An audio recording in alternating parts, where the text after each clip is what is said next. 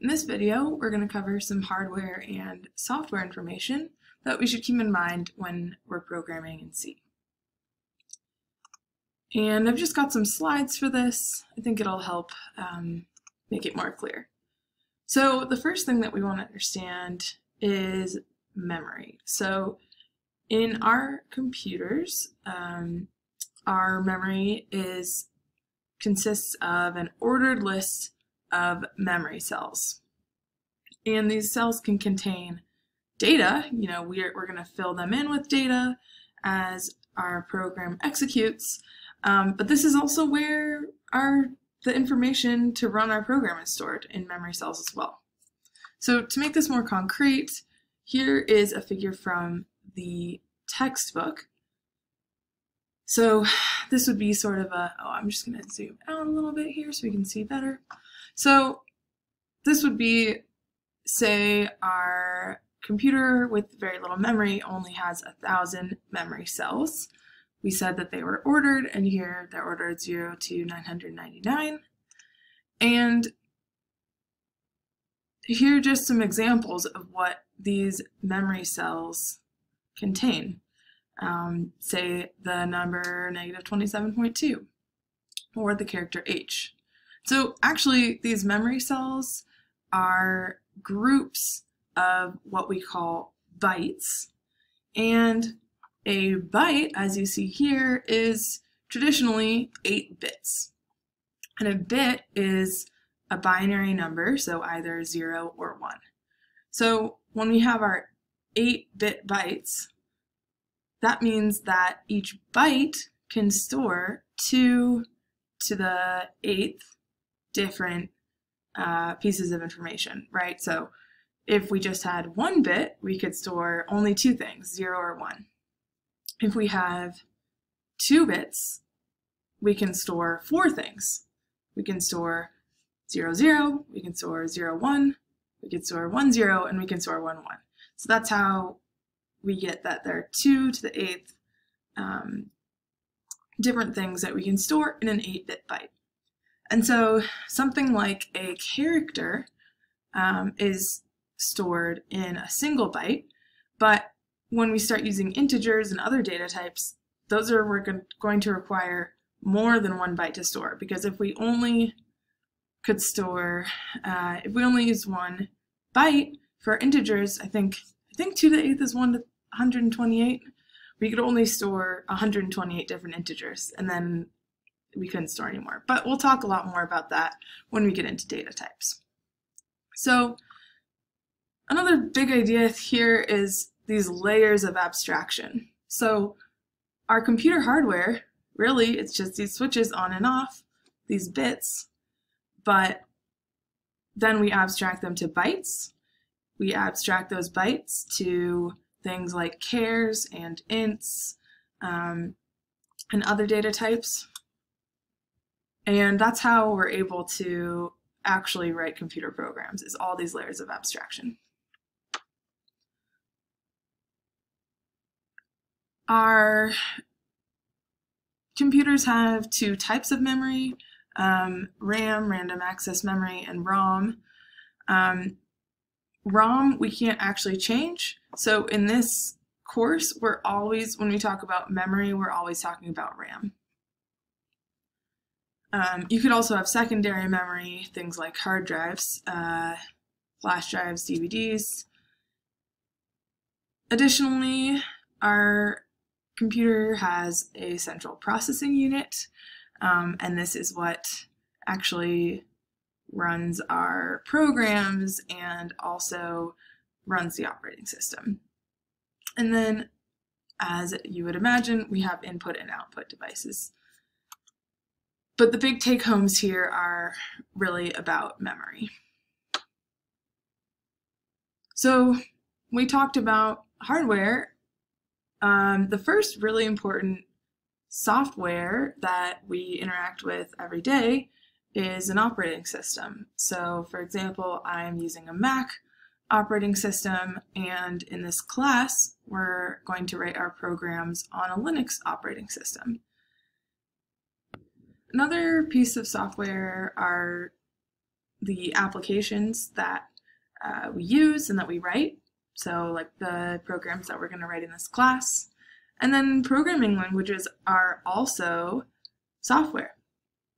Um, at the lowest level, the machine language is what communicates um, with the hardware, and that's written in binary. So for me personally, as a computer science educator, researcher, and even when I was in industry working as a data scientist, I really never interact with machine language or even assembly language, which is sort of one layer up.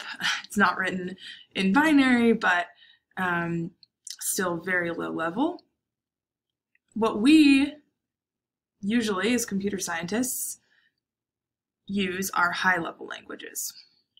And high level languages are things like C, um, like Python, like Java, um, anything that you're writing in human readable text is a high level language. So how do we actually go from uh, something that a human can read, a human can write easily, like C, to something that actually talks to the hardware? Um, well, the process uh, we will see it has a couple steps. So, like I said, we're going to write our source code just in um, human readable language. It compiles, um, and after that, it's linked, and finally, we have an executable file. So, there's a figure from the book that just shows this process and I think is maybe a little more clear. So like we said, we've got our source file um, that we write using a text editor. It is compiled into machine code. And at this point, um, the compiler may find syntax errors. Um, and at that point, it just tells us we have errors.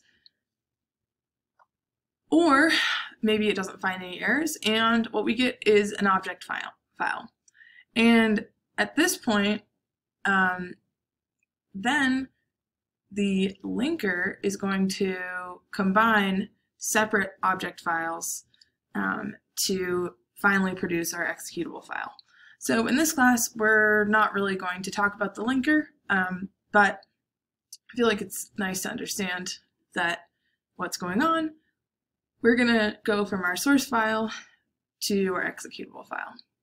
And then finally, when we actually execute it, um, we might input some information and we see some result. So as an example, we could actually see um, what this process looks like. So I actually have a nice bash command. Um, I can show you how to set this up. That will just run that SSH command for us.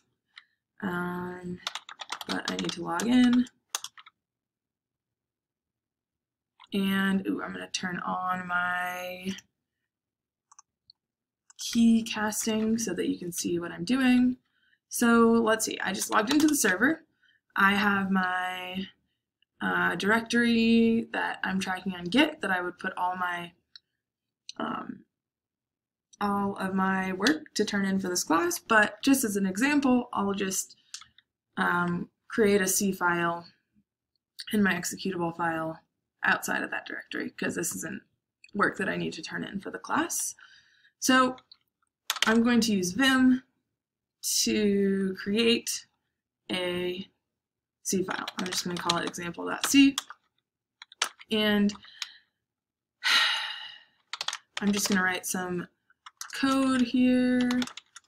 Doesn't matter if you don't know what's going on. Um, this is just so that we see the uh, compiler doing its work. So what am I going to do here? I'm just going to make an integer a. I'm going to assign it to be 10, and I always need a return statement, so I'm going to put that in here. So now let's take a look. So I see that I have my example.c text file, right? This is just this is just text. So let's go back here. So this example.c is a source file. It's in it's a text file.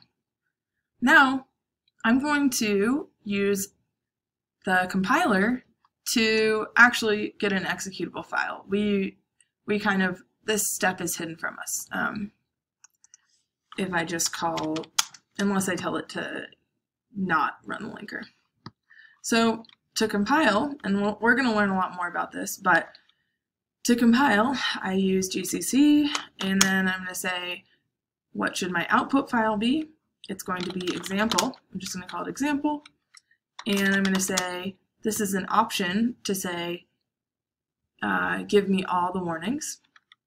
And then I'm going to say, what what file do, what source file do I want you to compile? And I want you to compile example.c.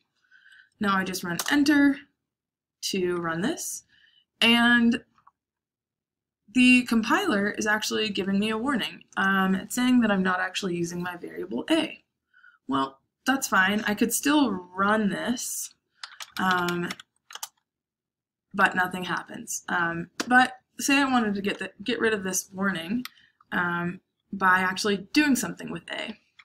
Let me print it. So I'm going to open up my file and in order to print A, I'm going to call uh, print format and I believe this is how I print A and I need a semicolon at the end here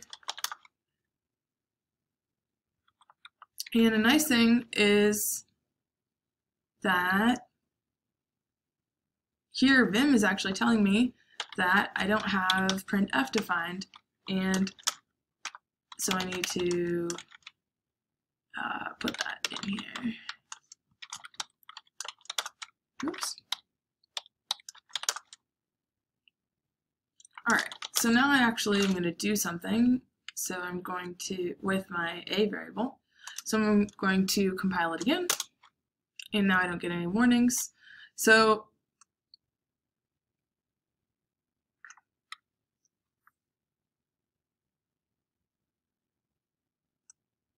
this linker, if I had multiple files, um, as we will, as we're writing more and more complicated programs, we're actually going to have more and more files that um, we might have code in separate files, and the linker is what um, puts those all together into our executable file that can actually be run. But the big thing to get here is that example.c is a source file, and after I run my compiler, I get an executable file. And let's just take a look, like what does that even look like, right? Well, totally unreadable for us, right? The executable file is not for humans, the executable file is for the computer. But I run it um, using this syntax. Oh, and we can see that since I added that print we now see uh, the output of 10. So I hope that clarifies a little bit um, about the process of creating an executable program. And I think, yep, this is everything that we have for this video.